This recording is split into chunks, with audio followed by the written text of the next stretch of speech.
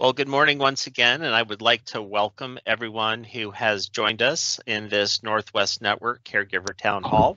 Uh, we have the usual cast of subject matter experts helping me to answer questions today, and our goal is to really answer as many questions um, as possible, uh, really having this as an open format, a uh, comfortable dialogue across the Northwest Network.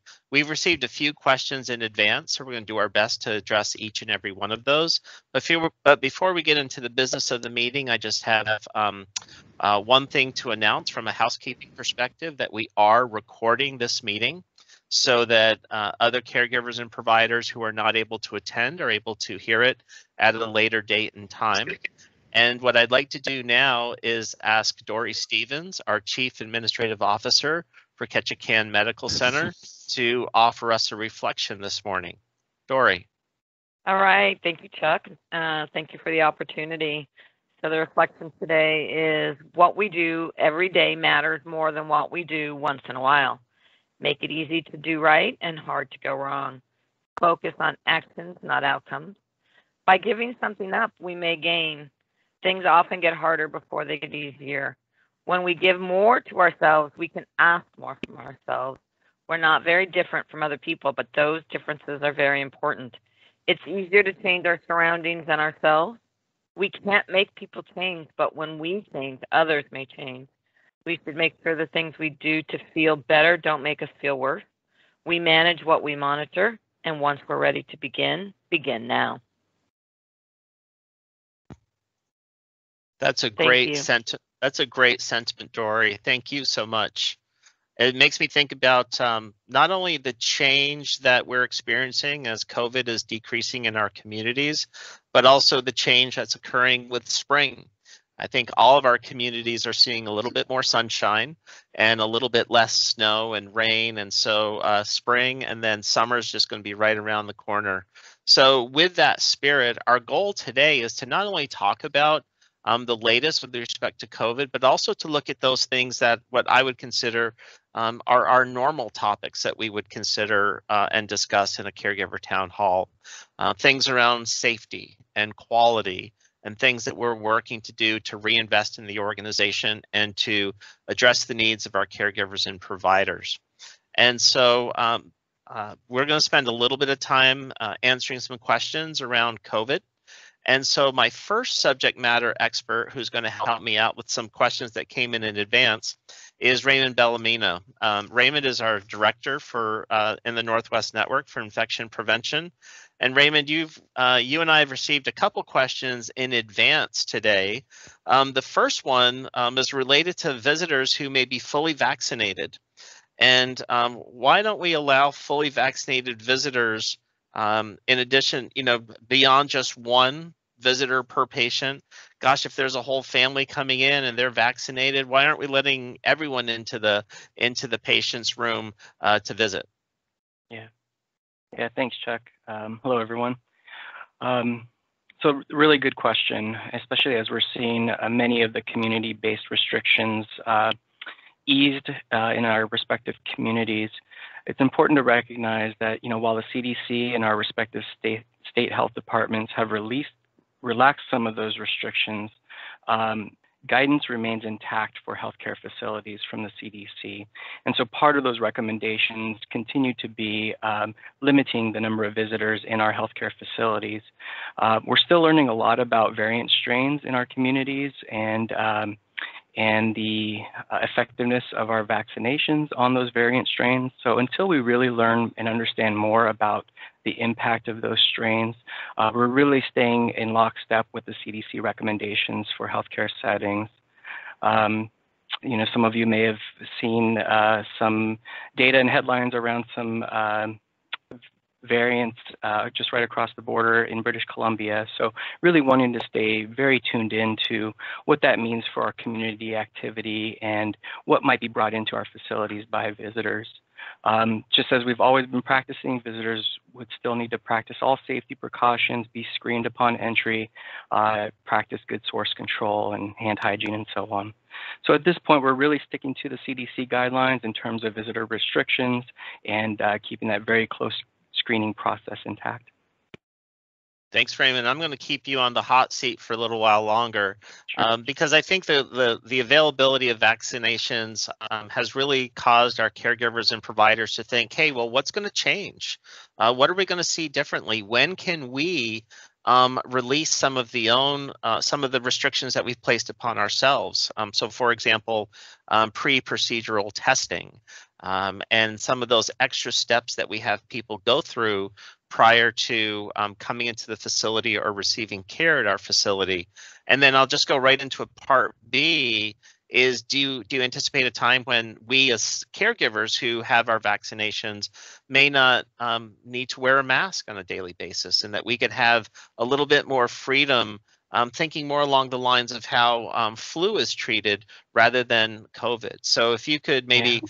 think about that from a big picture perspective it, i'm sure many many people are curious Yeah, also really good question. Um, again, just to the point I, I just made around really understanding what kind of the next phases of community transmission and community activity look like, uh, specifically pertaining to the strains, the variant strains.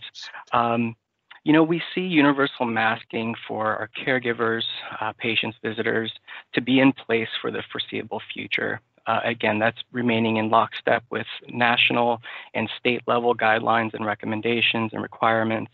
Um, but again, until we truly understand uh, more about um, the burden of these variant strains and even the existing strains that we have been uh, come accustomed to, um, really understanding what what that means for us within the healthcare facility, recognizing that we have vulnerable uh, patient populations uh, within our walls and want to do everything we can to make sure that we're creating a safe environment as possible.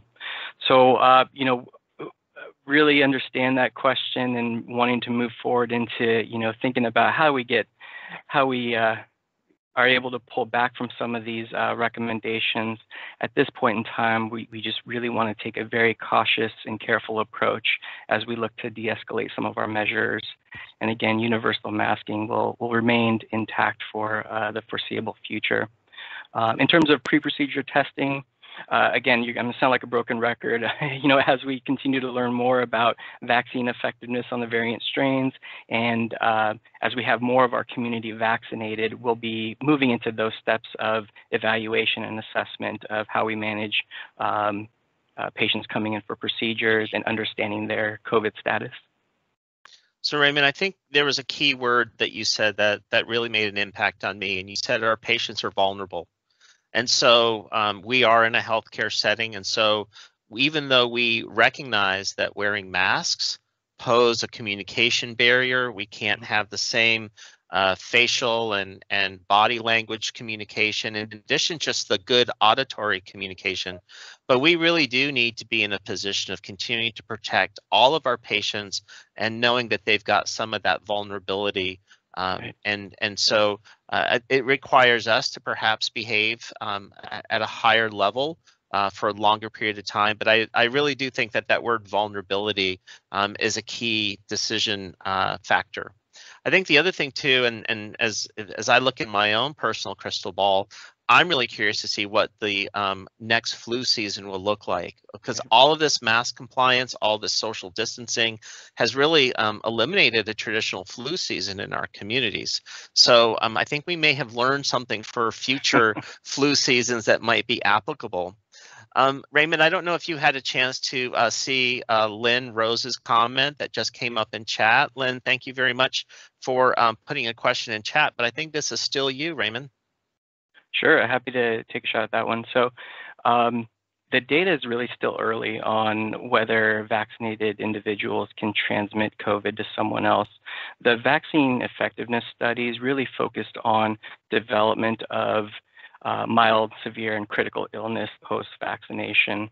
Um, there are some studies uh, in Europe and uh, some patient cohorts that are being followed around transmissibility uh, post-vaccination. So again, the data is early on that, um, and that's why we still want to take a very cautious approach post-vaccination, um, really not understanding fully what that means for asymptomatic transmission uh, of a fully vaccinated uh, individual to a non-vaccinated individual. So Lynn, great question. Um, uh, wish I had more information on that, and if others have some insight, would welcome input. Uh, it's just really too early to, to know for sure, uh, but there are some large cohort studies that are being conducted um, that we expect will uh, shed some light on that. Thanks, Raymond. I know Dr. Karlopudi on the call, and I think he just flashed um, raising his hand. Uh, Dr. Karlopudi, is there anything that you'd like to add to the latest and greatest on uh, our understanding of COVID? Thank you, Chuck. Thanks, Raymond. Um, so, Lynn, great question. In countries where we have been able, they have been able, able to vaccinate a large number of people, the vaccine has stopped transmission. Examples like Israel, that has about 88% of their population vaccinated, the vaccine stops transmission. In the rest of the world, we know for a fact that uh, we have many, many cases where people who have been vaccinated have gone on subsequently to test positive for COVID. They might develop a milder form of the disease, but they never develop the severe form of the disease. What that essentially tells us is that if you can get a mild infection with COVID after a vaccination, there is no reason why you cannot transmit that to somebody who's vulnerable. So it's essentially uh, it's uh, it's essentially guaranteed that if you, if somebody after a vaccine develops COVID, they can give it to somebody because the virus doesn't discriminate um, in terms of um, you know the vulnerable the ones who are not vaccinated. So I would say yes, hmm. they can absolutely give it to somebody. Thank you very much. Really appreciate those additional comments. And Lynn, thank you for asking your question. We're going to change the topic for just a moment, but it's still related to COVID, but it's kind of the future. Um, and, and it's a question for Jamie Barleen from uh, Human Resources. Uh, we've uh, The question that came in is, you know, there were several job postings that were considered in-house jobs. Um, and now when we see them posted, um, they appear to be uh, remote work jobs. Um, and so the the key question is, gosh, what's the future going to look like? Are we going to have um, uh, jobs now that are going to be remote only, um, or are they going to be looked at on a case by case basis? So, uh, Jamie, if you're out there, um, why don't you take a shot at answering that question, please? Yes, hi. Uh, happy to answer that question. Sorry, I'm having some camera difficulties, but currently leadership is assessing in-house positions that are now remote due to the pandemic to determine if they should return to an office or, or remain remote. Through navigating the um, complexities of the pandemic, we have discovered new insights and innovations in how we connect, work, and deliver our healing mission to the communities we serve. These decisions are being assessed um, on a case by case basis, depending on the position. Um, for a status on a specific position, if it's going to remain remote, I would suggest for the caregiver to submit a MyHR case so they can receive some more specific information on the potential for that position to remain to work remotely. Thank you so much, Jamie. I really appreciate that insight. I think the one thing that for sure um, that we've learned is COVID has caused us to really evaluate a lot of things. Um, the one thing I'm most excited about is our ability to have an entire Northwest Network uh, town hall meeting virtually.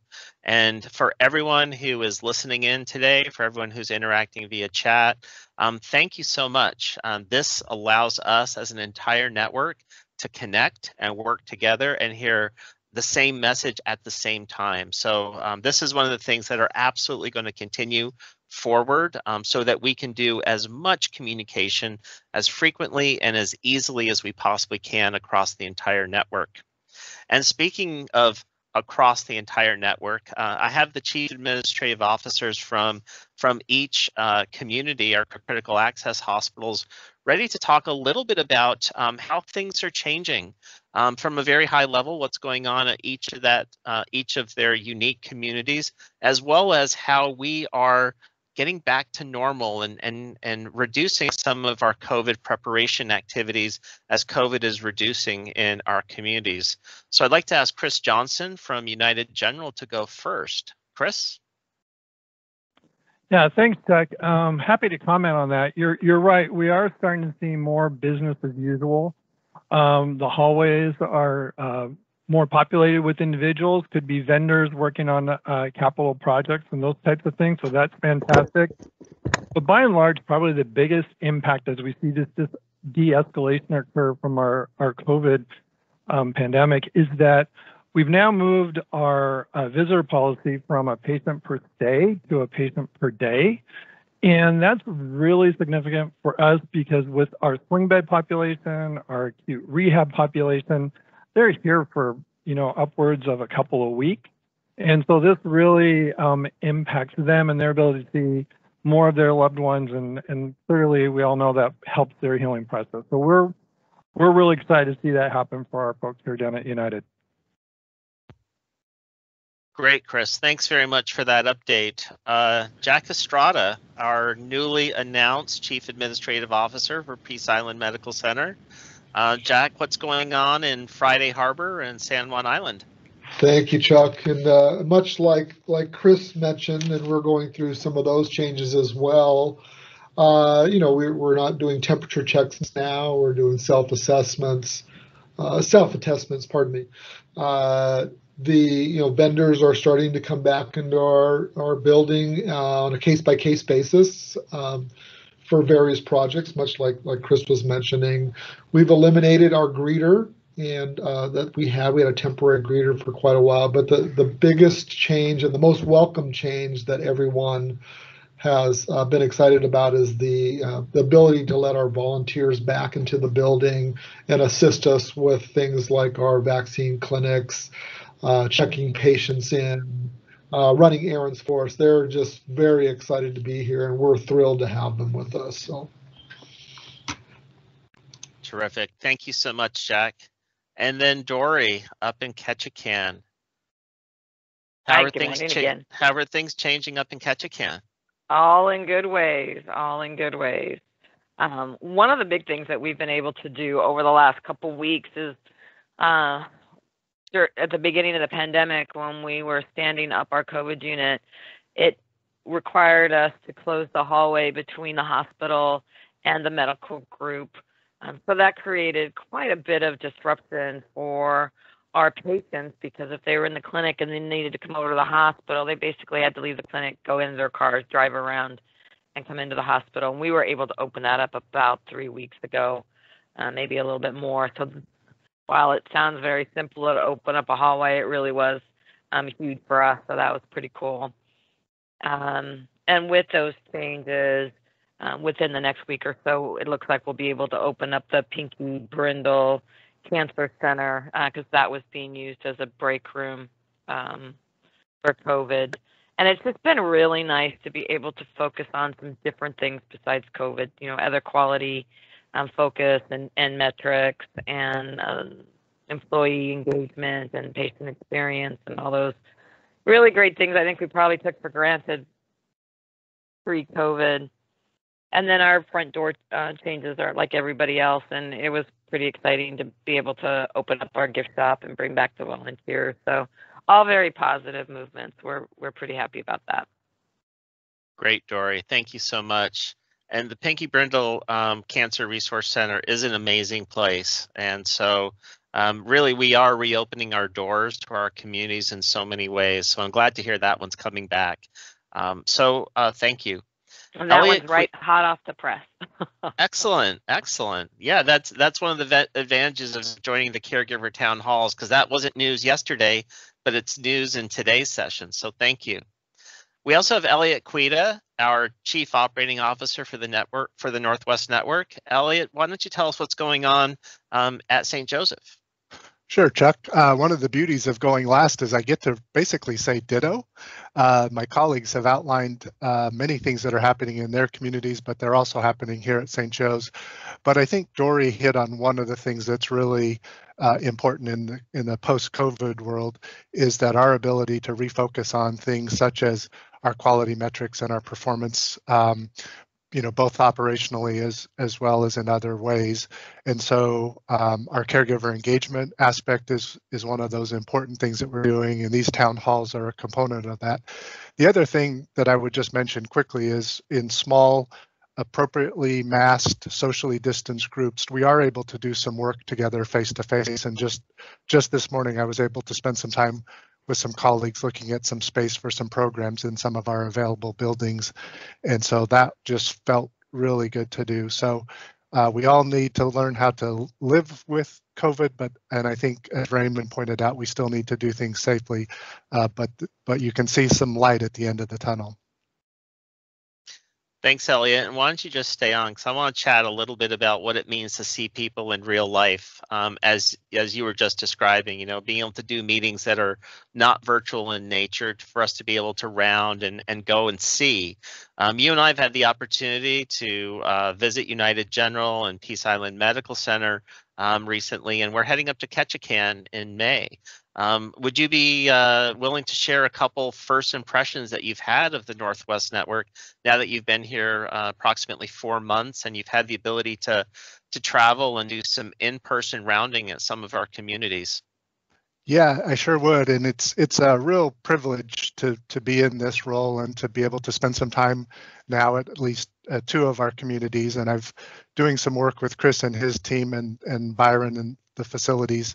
Uh, we've got a lot of work that we're doing. And so we've I've made a couple of trips to to UGHC already, and I think one of the things that's constant across the two the three organizations that I've been in, and I'm sure it'll be the same at Ketchikan, is our people. Our caregivers are amazing and they're so welcoming, and so I think that to me is uh, and being able to see people face to face is is so helpful.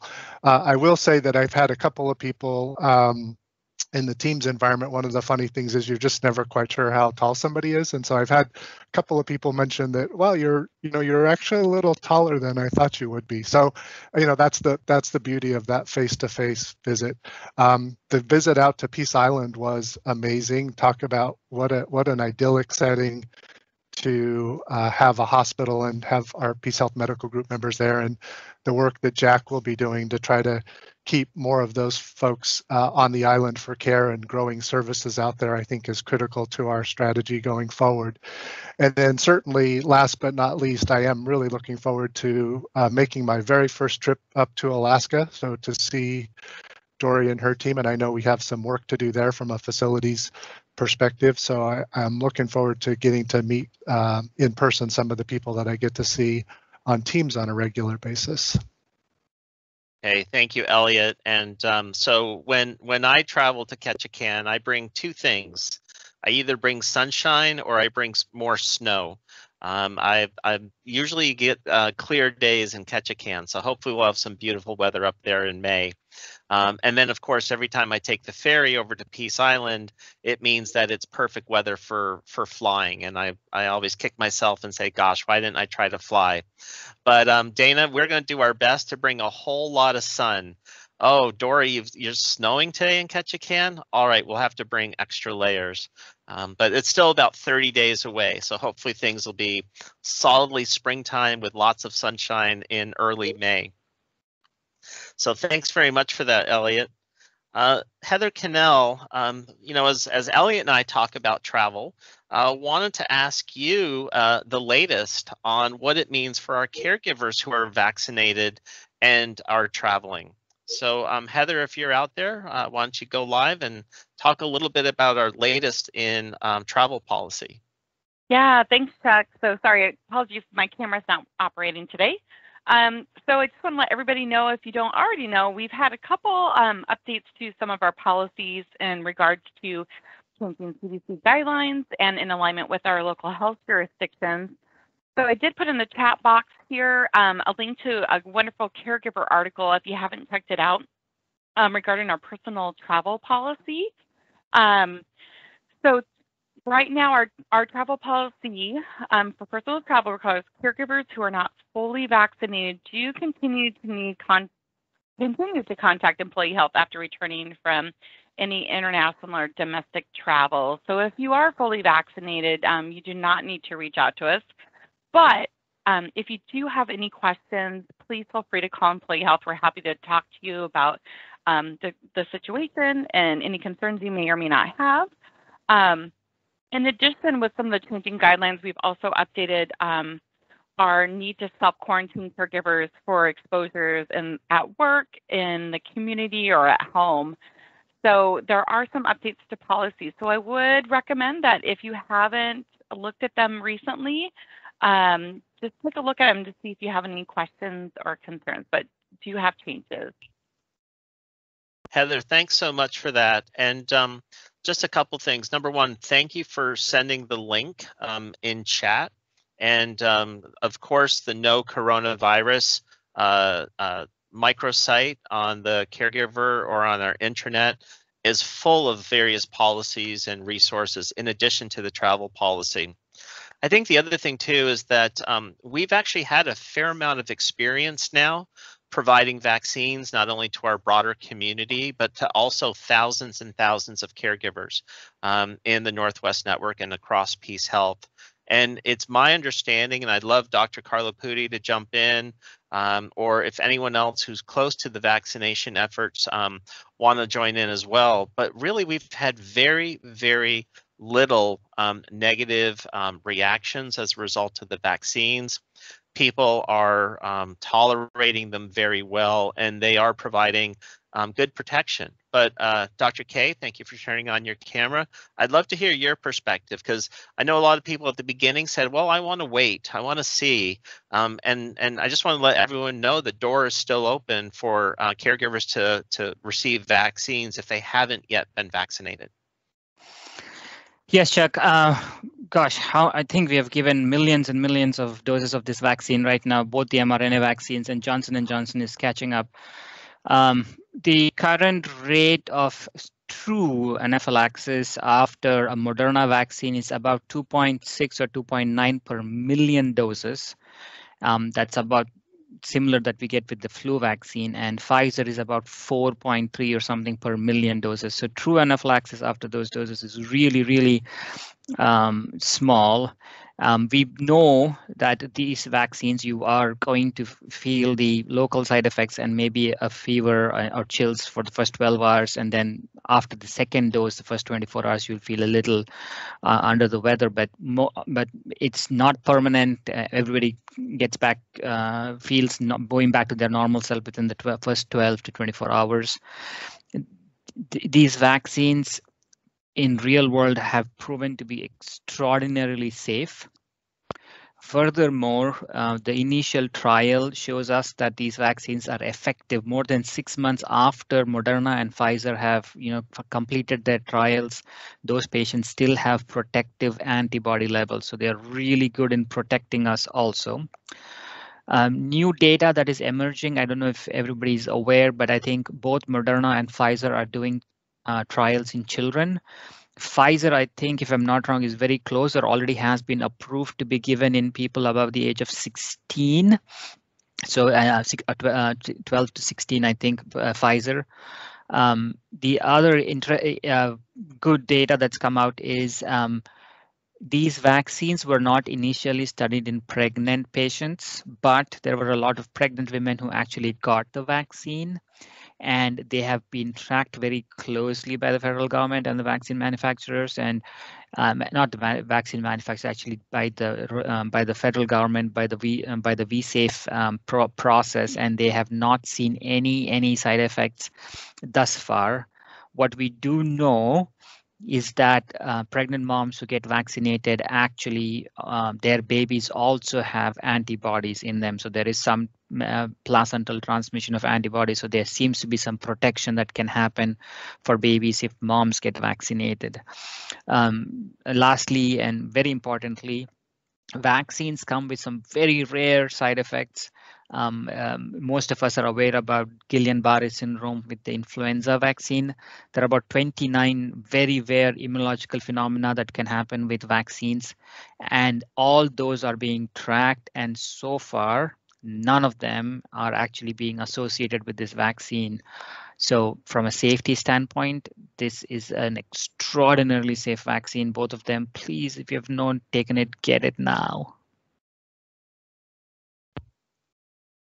Thank you, Dr. K. I think there's probably two key messages. Um, not only your impassioned plea, if you haven't received the vaccine, please go get it now, because we've had great, great history um, with it. but also um, for those of you that have been vaccinated, you are the most influential people in your families and in your communities.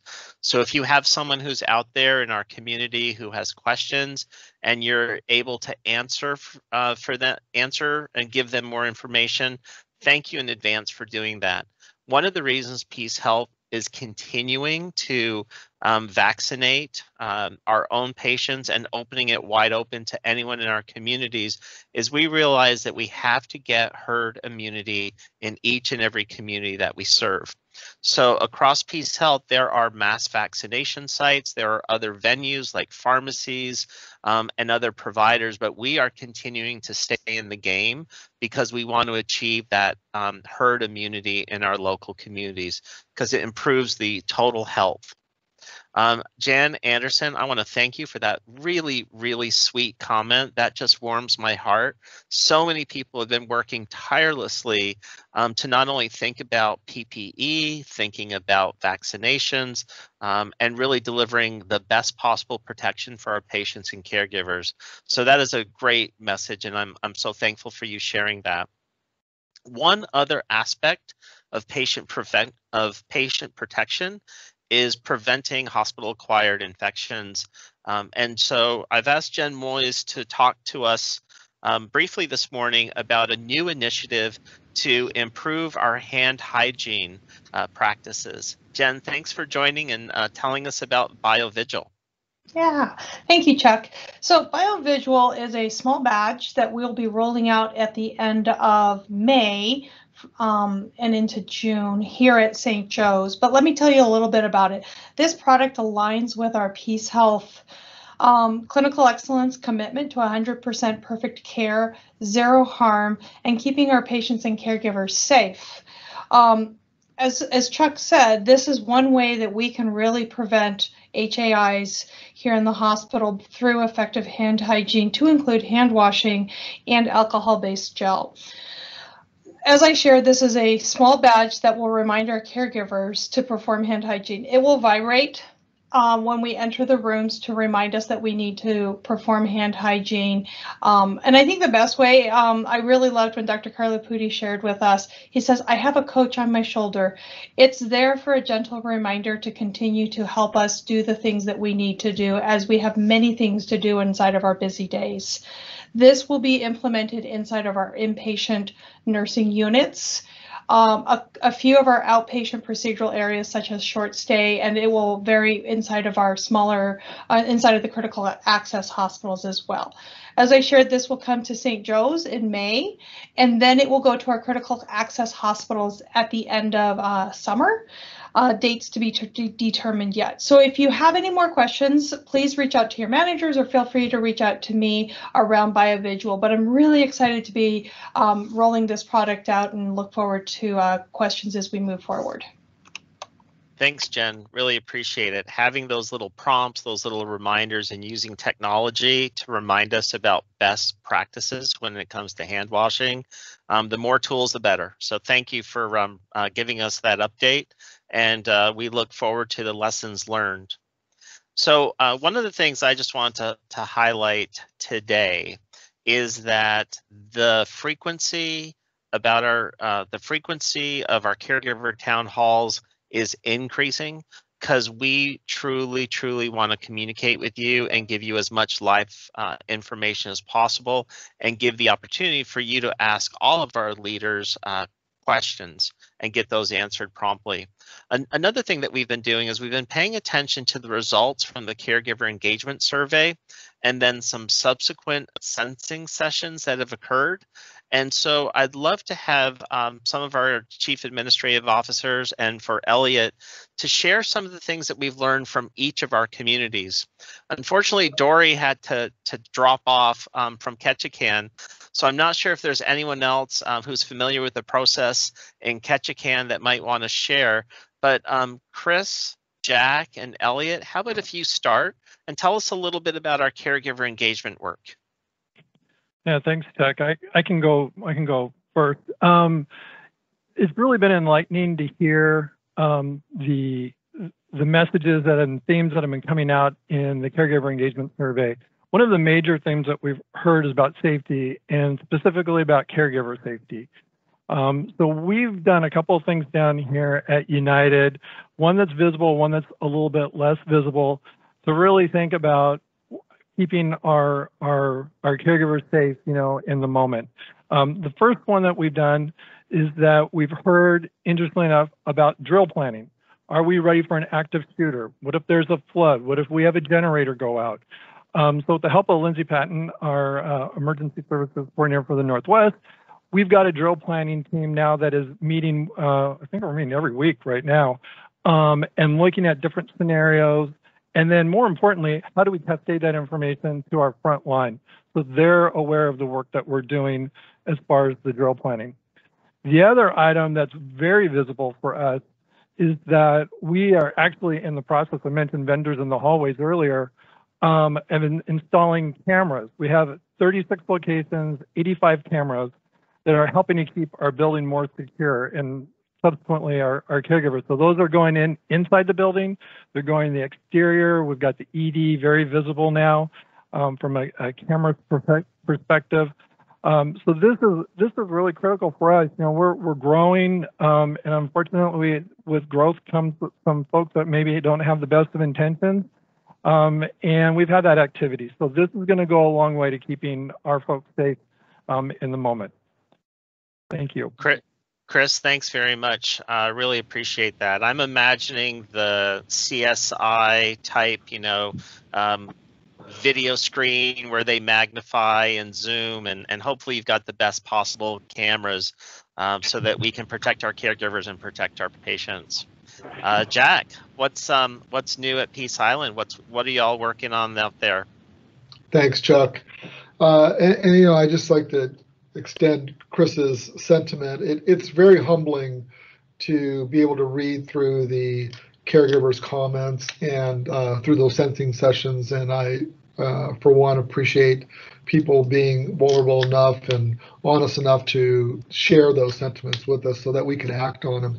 But of course, we have responsibility to to act on them. And, and some of the things that we're doing are uh, in the interest of safety and staff safety in particular. Uh, we are looking at uh, improving the lighting on one side of our building that has a pathway that's heavily used from the parking lot to the emergency room, and it gets very, very dark, and it, it can be very dangerous, especially in the winter. So we are doing a lighting assessment so that we can light up that pathway and that side of the building uh, more because there's very little right now. We too are actually looking at putting some cameras in various places, and particularly in the ERs because we have our um, PARs and registration desks are on the other side of a door from the emergency room, and they're out there by themselves or with very few um, support people. So we need to keep an eye on them, make sure they feel that they're safe. Uh, and that there's somebody always uh, having an eye on them. So that's something we're undergoing an assessment of as well. You know, one of the other key things we're um, always uh, seem to be working on is our staffing. And in staffing out here at Peace Island is a challenge to say the least. But we've implemented some, uh, we have asked HR to partner with us and see if the strategies we're using are still working. And if not, you know, we're trying to think out of the box and get creative. Pardon me. One of those creative uh, uh, things that we've done is I've been able to recruit a couple of the imaging nurses at St. Joseph to come over and participate in our endoscopy OR procedures because they're they're experts in moderate sedation and and managing those patients. So that's been really successful. We had we've had somebody come out here a couple days, and we're we're in the process of recruiting more in, in addition to HR's efforts. Um, and then uh, the the last thing we heard is the necessity to uh, have more back and forth communication between the leadership team and the caregivers, obviously. So between myself and the exec team here, we are participating in um, both the clinic side of operations uh, DMS meetings on a regular basis, as well as the hospital side of operations DMS, because they function in different ways yet together at different times. So we're trying to provide more access to them, to us, uh, in order to hear. And I've learned tons of things already over the last few weeks. So that's been really, really uh, beneficial to both sides. I hope. So. Thanks, Jack. That's a Mhm. that's a lot going on at Peace Island. So thank you so much. Mhm. Um, so Elliot, uh, I know that um, you're next to give an update, and I think that um, Blair Clement has asked a question that I think is something that you've um, responded to previously uh, with respect to safety and security. So, um, but I'd love to hear an update from you about our caregiver engagement survey, and perhaps if you could answer Blair's question and comment, uh, it'd be a two for one. Okay, well let's let's do that first because I see that she did put that in, and so uh, one of the things from a safety perspective here at St. Joseph's Medical Center is uh, in responding to what we heard in this read in the survey as well as heard from the sensing session, is the ability for folks to have uh, a way to quickly call those code grades code grays. And so one of the things that we just implemented here at St. Joe's, uh, our new uh, real-time locating system, RTLS badges. And on that badge that the caregivers wear, um, there's a button uh, and if they push that, that's what automatically calls the code gray to the location exactly where that caregiver happens to be. And so with the rollout, um, there's just been some accidental pushes of those buttons and sometimes they get hit by something else that's up, up, around the person's neck. And so uh, I have noticed over the last several days that the volume is going down, but it is a good test that the system works. Uh, so that's one of the areas. We're currently uh, folks closest to the patients uh, from a nursing perspective are wearing those badges and the team is evaluating use of that technology for other caregivers that are involved in direct patient care. So Blair, that's why uh, the code grays are happening and, and it is decreasing in frequency. Uh, the other area not only in terms of, I think, safety, but also in terms of sense of engagement, has to do with the time that our leaders have to round. And so one of the things that we have done uh, across the network is we have standard work now from the 9 to 10 a.m. hour, uh, at least here in the in the lower Northwest network, where leaders are able to have no meetings and we're able to be able to be out and about rounding with folks. And so, for instance, this morning I mentioned that um, I used that rounding time to go with some of my colleagues to look at some space. And so it's just a nice time we can connect with, with folks. Um, I got to meet some new people that I haven't had the chance uh, to meet. And so I think that's a way for us to communicate uh, directly one to one with caregivers. It's also a way for us to share information back on some of the safety stops that we have. And it's a way for us to convey that information again directly to to a group of caregivers. So I believe that will be uh, that's why I said earlier, I think it's going to help us both from a sense of safety, but also um, from that sense of connectedness so that the team can feel that, you know, we're hearing and re reporting back on the work that we're doing. Thanks a lot, Elliot. And I know we have about two minutes left in the meeting. And one of the great things about a Teams chat is I get all kinds of live time information. So Brian Kluart, our Northwest Network Director for Facilities and Project Management, uh, let me know that we're going to be spending over a quarter million dollars of uh, uh, in investment in cameras, panic buttons, and additional badge readers for door control across the network. So we are absolutely making real and tangible investments in caregiver and provider safety. Um, as as we think about closing the the meeting out, I I do want to just leave you with one theme. Uh, we are definitely uh, looking towards the future. We are looking towards what it means to uh, provide care to our communities living with COVID rather than just reacting to COVID.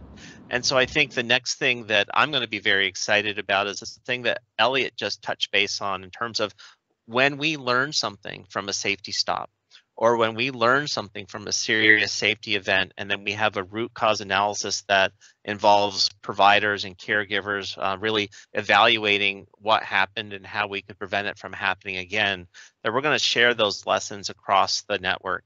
And not only among the leaders, but also unit managers and frontline caregivers across all shifts. So that's the big challenge that we're going to embark upon over the next three months to improve um, our patient safety and protecting our patients. Uh, Rick, thank you so much for putting into chat um, some of the caregiver engagement responses up in Ketchikan. Uh, we didn't have time to get in that, but um, having that written report is extremely valuable. So in closing, I want to thank everyone who attended today. I want to thank everyone who asked questions and engaged in chat. I have one final request for you before you uh, leave our meeting today. Please give us some real live time feedback in chat. Put a couple comments in. We work each and every time to improve these caregiver town halls, and so your feedback is incredibly valuable to us.